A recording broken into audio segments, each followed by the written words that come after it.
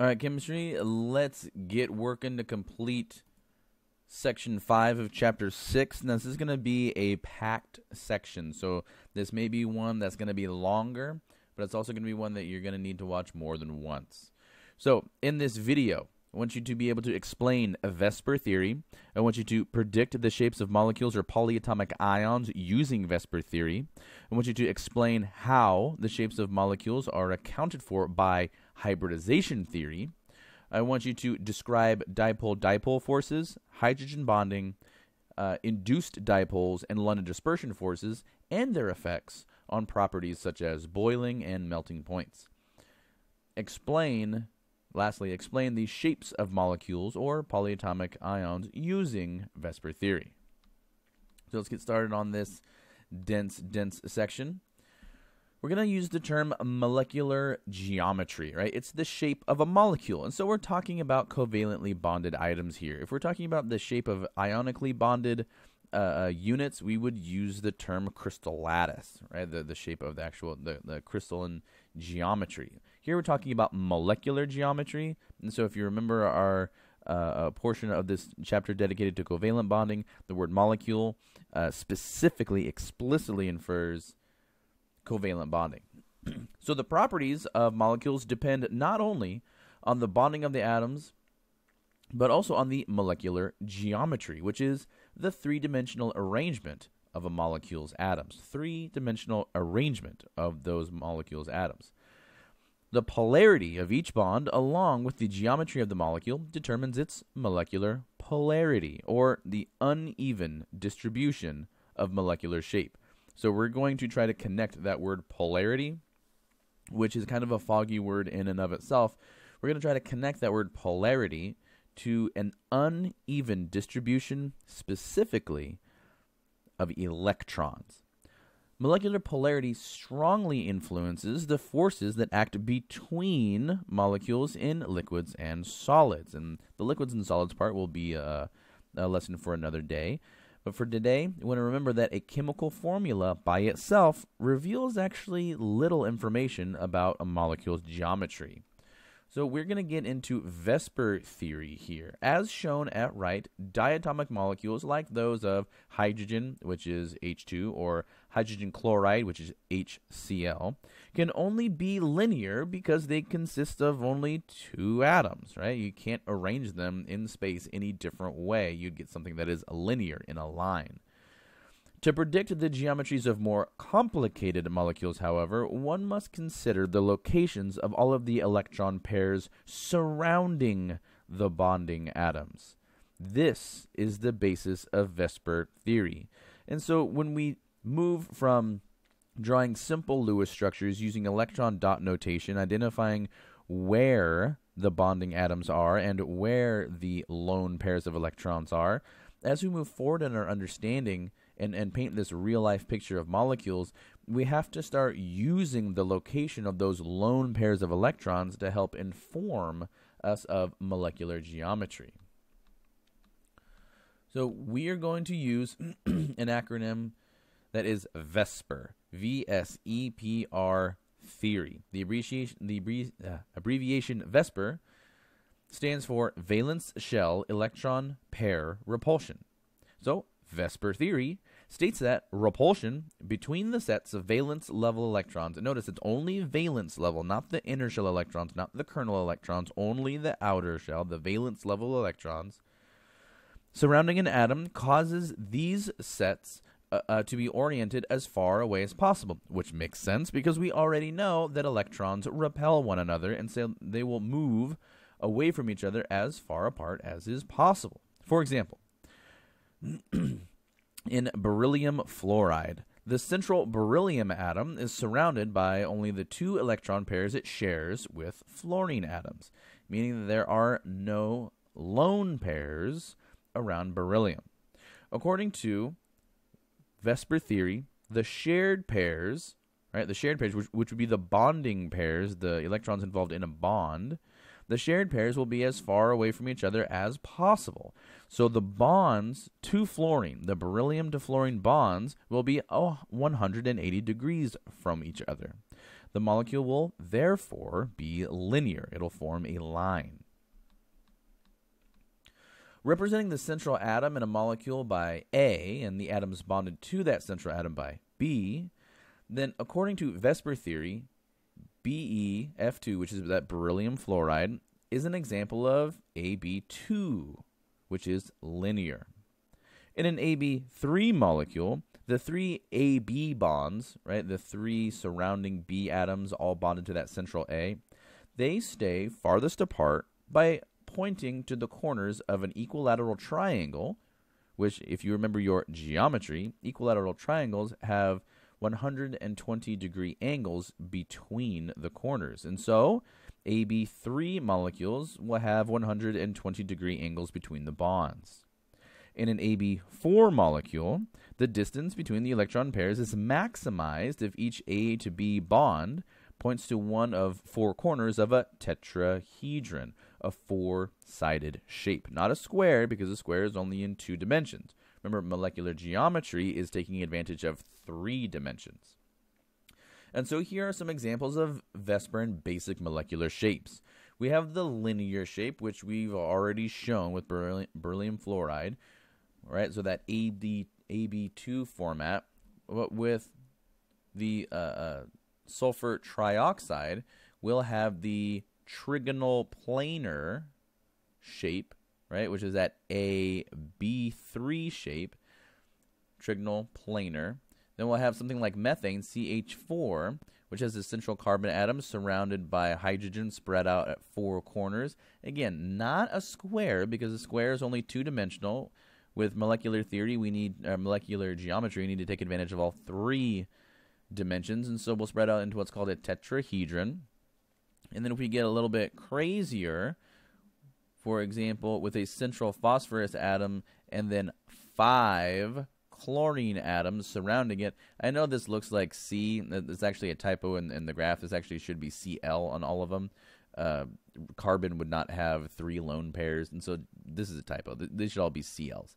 This central phosphorus, if we have five Cls, five chlorines bonded to that central phosphorus, the way that these bonding electrons, right, that bond the phosphorus to each chlorine, the way that they can spread out maximally is by forming what's called a trigonal bipyramidal shape.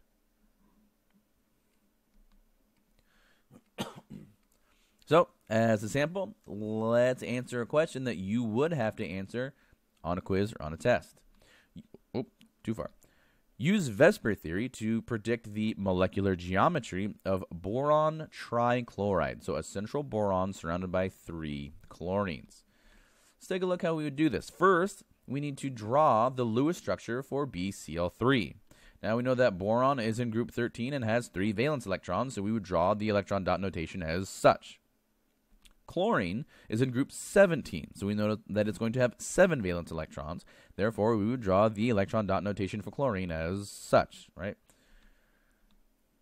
Next step, after we've drawn the Lewis structures, now we will total the number of electrons, knowing that we have three electrons coming from the boron, and then we have a total of 21 electrons coming from the chlorine, for a grand total of 24 electrons.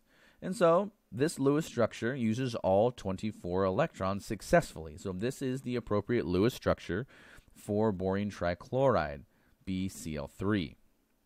But we're not just doing um, Lewis structures here. We're trying to predict the molecular geometry.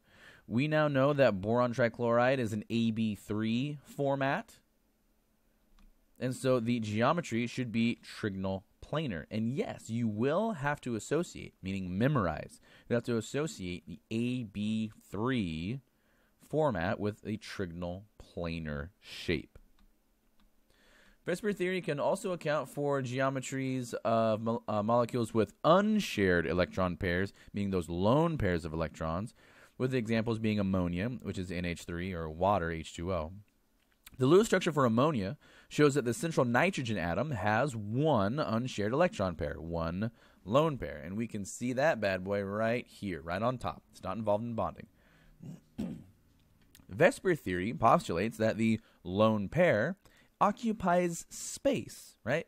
the electrons are very, very small. They have very, very little mass, but they have quite a bit of charge. They have, you know, a full charge. And so they are repelling the bonds, or sorry, should I say the electrons that are forming the bonds between the nitrogen and the hydrogens. And so they have just as much repulsion as any of the other electrons. Right? So these lone pairs of electrons will occupy space around the nitrogen atoms just like the bonding pairs do. And so if we take into account its unshared pair, uh, NH3 takes a tetrahedral shape, just like an AB4 molecule. Okay, so now we're getting tricky. Now we're getting tricky. Now, as we go forward to try to make a little bit of sense of um, how NH3 looks like an AB3 format, but it really acts like an AB4 format, let's distinguish between shape and geometry the shape, and I will use this language on quizzes and on tests. the shape of a molecule, the shape of a molecule refers to the positions of atoms only. Only atoms. If I say shape, I'm asking how do the atoms arrange themselves. If I ask for geometry, right? Geometry, I am asking you to take into account the lone pairs of electrons, not just the atoms, it's the atoms plus the lone pairs of electrons. So H2O has two unshared pairs of electrons.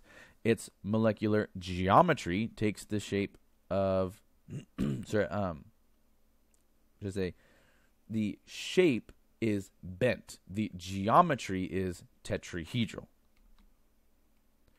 So as we see here, both the uh, the geometry of both NH3 and water is tetrahedral. Why? Because because we have an object with two electrons here, an object with two electrons here, an object with two electrons here, and an object with two electrons right here. Tetrahedral, four-sided. They're going to have to spread themselves out, creating a four-sided figure. However, we can contrast that with geometry, or should I say um, shape, I'm sorry, where we only look at the the atoms, and we see that this is trigonal pyramidal. It's not trigonal planar because this lone pair of electrons is repelling the electrons involved in these bonds, so it actually pushes them down. And so they form a like a three-sided pyramid, trigonal planar. Or sorry, trigonal pyramidal, three-sided pyramid. Now with H2O, we have four areas of what we call electron density or electron domains. There are places where electrons are, four locations, so four electron domains. And because we know that electrons repel one another, they'll spread out into a tetrahedral orientation. But when we talk about shape, we're only referring to the atom. So the shape of water is bent, is bent, or angular. Some books will use the term angular.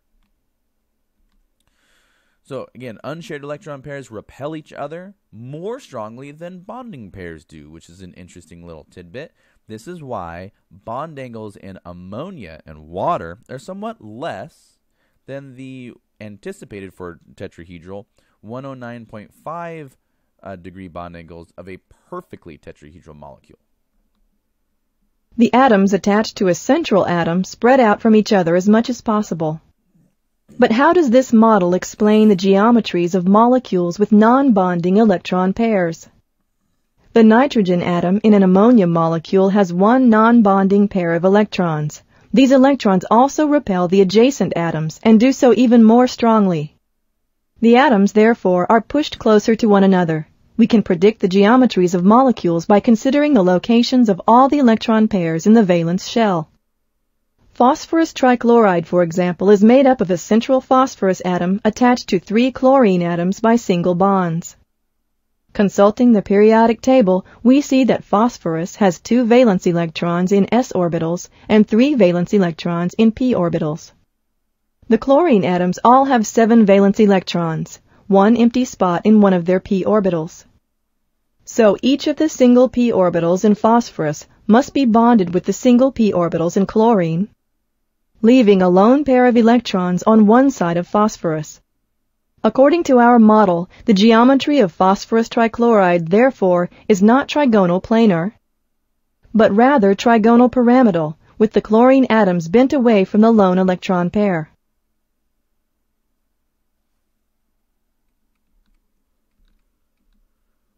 So the same basic principles of VSEPR theory uh, that have been described so far can be used to determine the geometry of several additional types of molecules, such as an AB2E, AB2E2, AB5, or AB6.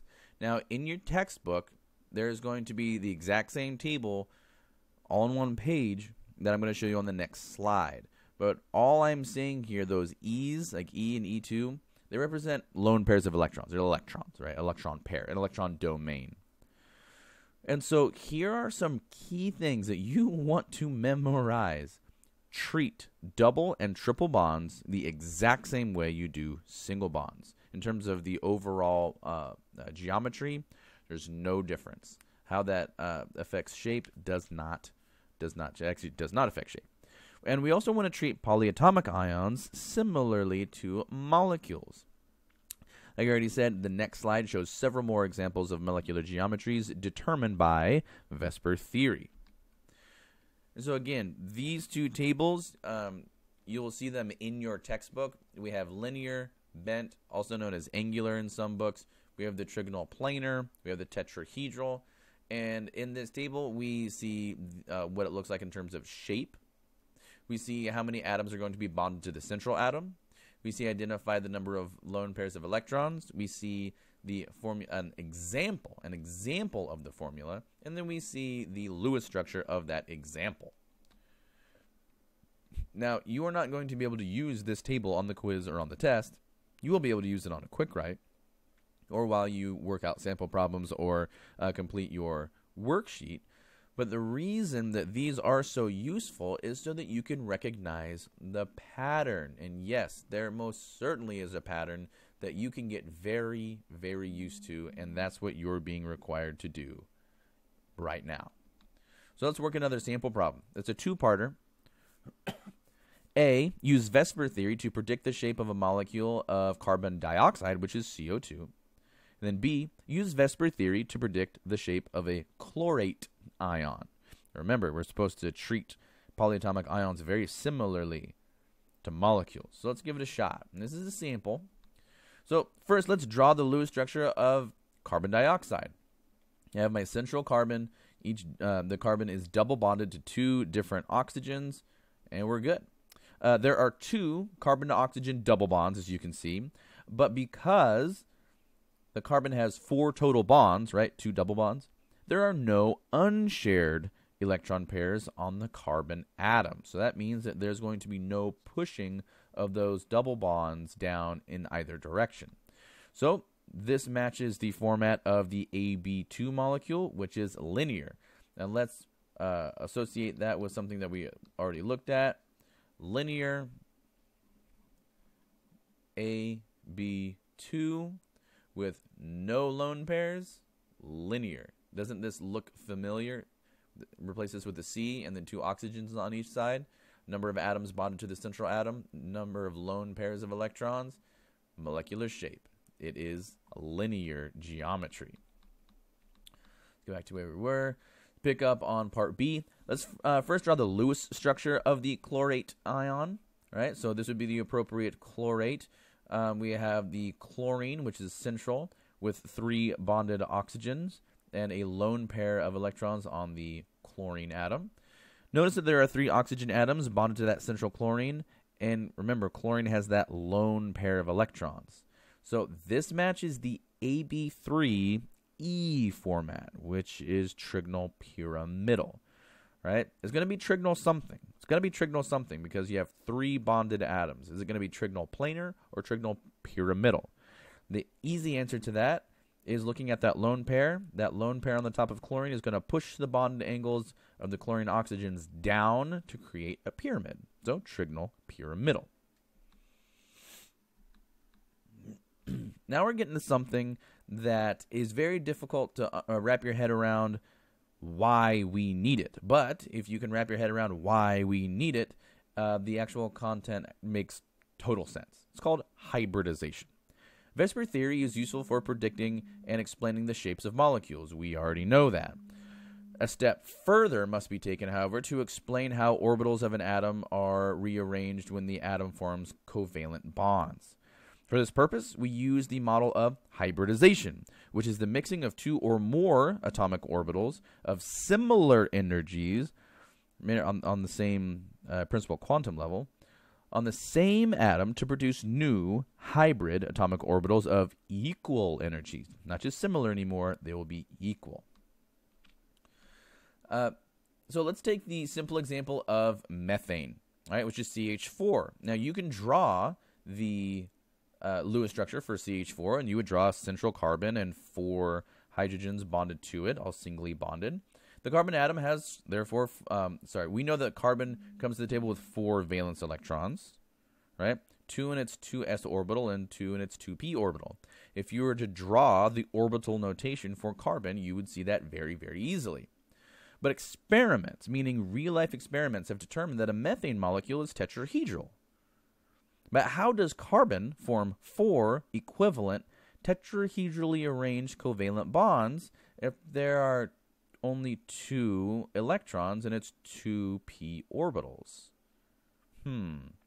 Now recall that s and p orbitals have different shapes, and to achieve four equivalent bonds, carbon's 2s and three 2p orbitals hybridize, meaning they all get mixed together and then averaged out to form four new identical orbitals called three sorry hmm, sp3 orbitals. The superscript 3 on the p indicates that there are three p orbitals included in the hybridization. The superscript 1, which, which you don't write, it's just assumed, on the S is left out, right? It's because it's assumed, just like in a chemical formula. And so there's one S orbital and three p orbitals all mixed together. And so you get four identical sp3 orbitals. And so let's start to picture this. If we take, just like we said, three 2p orbitals, right? Three 2p orbitals, um, a 2p orbital on the y-axis, a 2p orbital on the x-axis, a 2p orbital on the z-axis, along with the, the 2s orbital, and we mix them all together, right? Average them out, we get four identical orbitals that don't look exactly like the p orbitals, and they don't look exactly like the s orbitals. They look like a mixture of them. Now, it's not a perfectly 25%, uh, sorry, 50% P, 50% S because three P's went in and only one S. So we added four together. Three of them were P, so three out of four is 75%. These sp3 hybrid orbitals show 75% P character and only 25% S character, right? Because only one out of the four orbitals that were hybridized was an S orbital. So we take these four unhybridized orbitals, right? and then we hybridize them. Now, if we draw the orbital diagram of a carbon atom by itself, we see that there's two, this 2s orbital. We got two electrons inhabiting that, and we have our two um, uh, single singly filled p orbitals. However, this is not how uh, carbon bonds. If we use this alone to predict how it's going to bond, we are only going to be able to form two bonds maximum because there are only two unpaired electrons. It means carbon only has two electrons to commit to bonding. Well, like we already established, methane has four bonds. That carbon, that central carbon, definitely forms four bonds. And so what we do is we hybridize one, two, three, four orbitals, three p's and one s, to get four identical energies. See how energy over here on the y-axis these are all exactly in line. They're the same energy. And so to satisfy Hund's rule, we spread out our four valence electrons into each of these hybrid orbitals until each of them is singly filled. As a result of this hybridization, notice that we have four unpaired electrons. That means there are four bonds possible by that central carbon in hydrogen or sorry in methane, which is what we see in real life.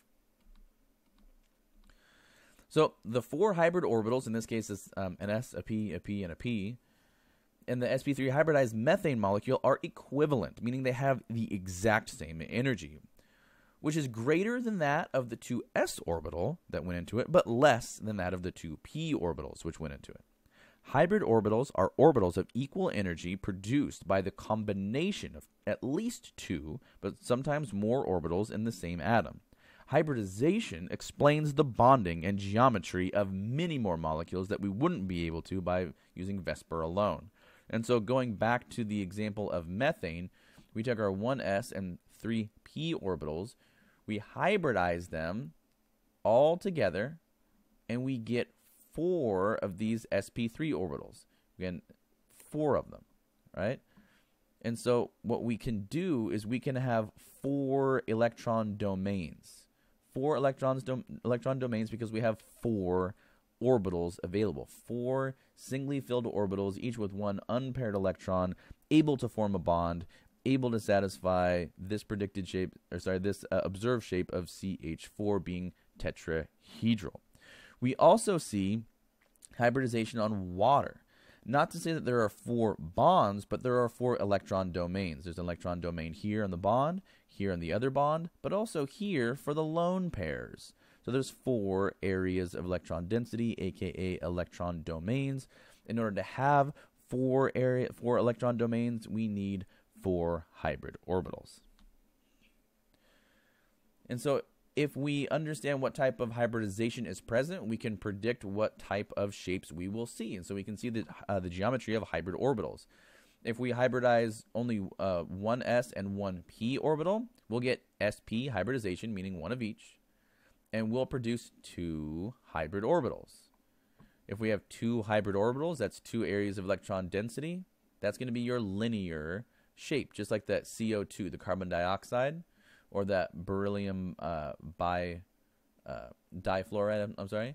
If we uh, hybridize one S and then two P's, that'll be sp2 hybridization. We'll get three identical orbitals. Now we can form something that is trigonal planar because we have three areas of uh, electron density, three electron domains, three hybrid orbitals. Those are all synonymous. But then if we take all of them, an S and then three P's, we'll get sp3 hybrid orbitals. We'll get four of them, so we can have four electron domains and make up to four bonds.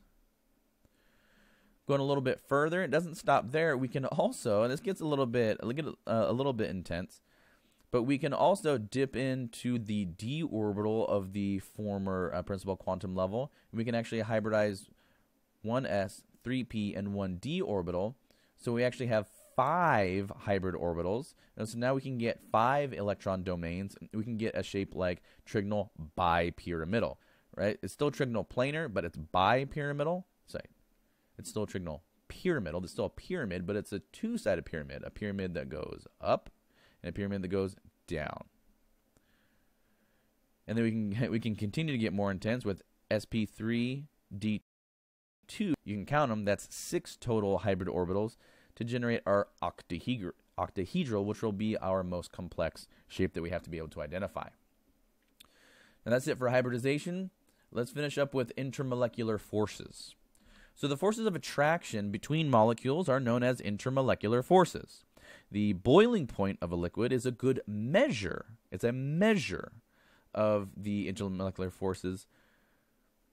The higher the boiling point, the stronger the forces between the molecules. The lower the boiling point, the weaker the forces between the molecules. Now, intermolecular forces will vary in strength, but are generally weaker than the bonds between atoms within molecules. So that would be an intramolecular force. A bond would be an intramolecular force. Intermolecular forces are generally weaker than bonds. Boiling points for ionic compounds and metals tend to be much higher than those for molecular substances because forces between molecules are weaker than those between metal atoms or ions. Ions are especially strong. And so we can see that by analyzing this data. As we look at ionic substances versus covalent substances, we can see that melting the melting points of ionic substances are very very high. The boiling points of ionic substances are very very high compared to covalent substances both the melting and boiling points are going to be much, much lower by comparison, and that shows that ionic substances have much stronger intermolecular forces compared to covalent uh, substances having much weaker intermolecular forces. The strongest intermolecular forces exist between polar molecules because of their uneven charge distribution, and that's how we want to think about polarity, by the way, is an uneven charge distribution. Polar molecules have dipoles. A dipole is created by equal but opposite charges that are separated by a short distance. just like the poles of a magnet. The direction of a dipole is from the dipole's positive pole to its negative pole. And that'll make sense when we actually draw the representation of a dipole, how we actually draw it and indicate it. We're pointing to the negative pole. And so a dipole is represented by an arrow with its head pointing towards the negative pole and a crossed tail at the positive end. You can think of it as a positive symbol. The dipole created by a hydrogen chloride molecule would be as in, indicated as follows. We have the HCl, and because chlorine uh, is much more electronegative than hydrogen, it would have an uneven distribution of electrons towards the chlorine, making the negative dipole towards the chlorine and the positive dipole towards the hydrogen. The negative region in uh, one polar molecule attracts the positive region in an adjacent molecule. So the molecules all attract each other from opposite sides. Such forces of attraction between polar molecules are known as dipole dipole forces because it's two dipoles.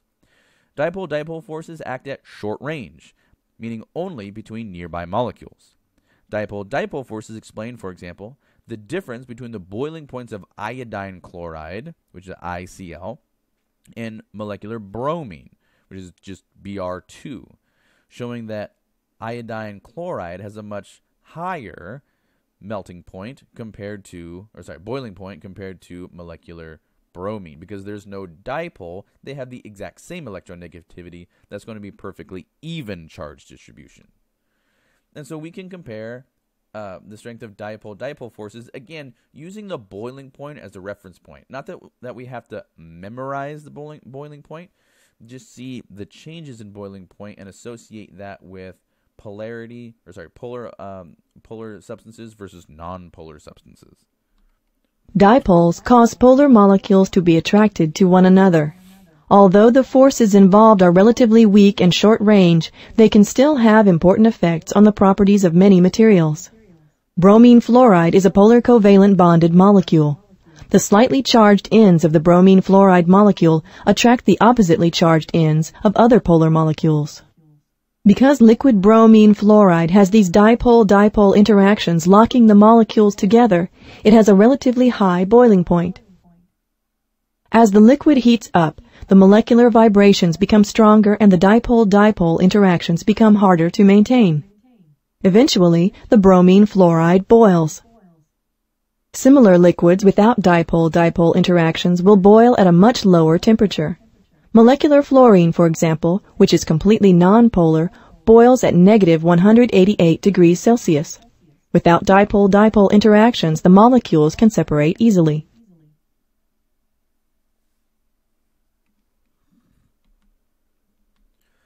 A polar molecule can also induce a dipole in a non-polar molecule by temporarily, just for a moment, attracting its electrons. The result is a short-range intermolecular force that is somewhat weaker than a traditional dipole-dipole force.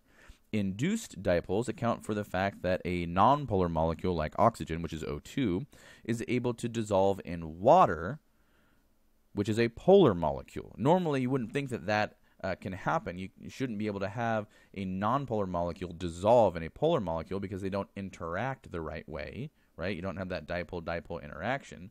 But as we see on this uh, representation right here, we have water, which is a permanent dipole. It's always dipole. You have two uh, areas of electron density, two electron domains, always present in water, compared to O2, which has no dipole, right? It's a it's a diatomic molecule, meaning there's no difference in electronegativity, meaning the distribution of charge is perfectly even, non-polar in every way.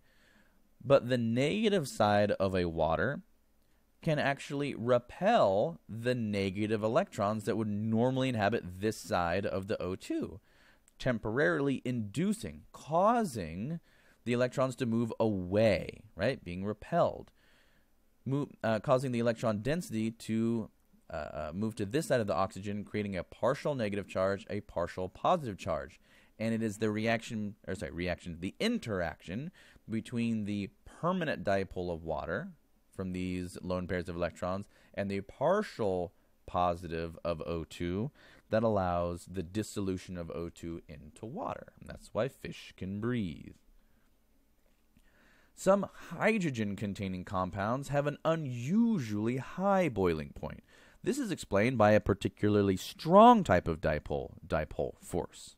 In compounds specifically containing a hydrogen to fluorine bond, a hydrogen to oxygen bond, or a hydrogen to nitrogen bond, notice that there's going to be a very large electronegativity in all three of those types of bonds. The large electronegativity differences between hydrogen atoms and the atoms that are bonded that uh, they're bonded to make their bonds highly polar. Fluorine, oxygen, and nitrogen are the most electronegative elements on the periodic table, and so they're going to have the largest electronegativity differences. It's going to make them the bonds very, very polar, very, very polar. This is going to cause the hydrogen atom to have a partial positive charge that is almost half as large as a bare proton, uh, meaning a bare proton that has a full positive charge.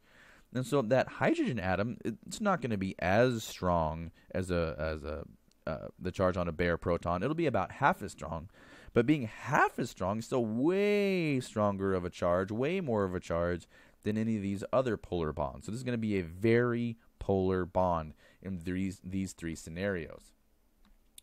So the size of the hydrogen atom, because it's so small, allows the atom to come very close because it's so small. You can get very close to an unshared pair of electrons in an adjacent molecule.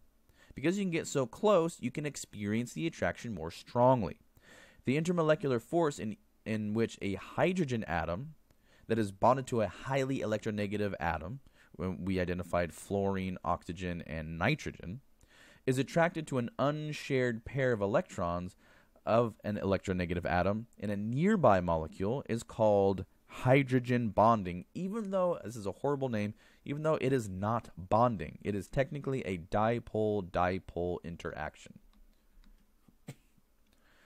Hydrogen bonds are usually represented by dotted lines connecting the hydrogen bonded hydrogen to the unshared pair of the electronegative atom to which it is attracted.